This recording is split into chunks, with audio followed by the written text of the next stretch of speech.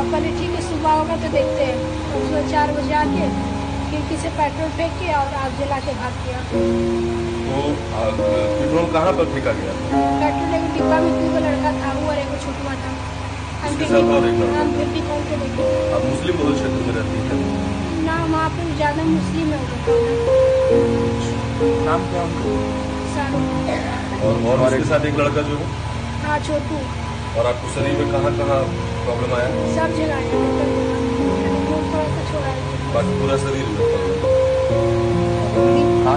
तो जैसा कि आप लोग सब देख रहे हैं हमारी बहन अंकिता सिंह यहाँ पर अभी आप लोगों के सामने बेड पर है। इनको सही और उचित न्याय मिले।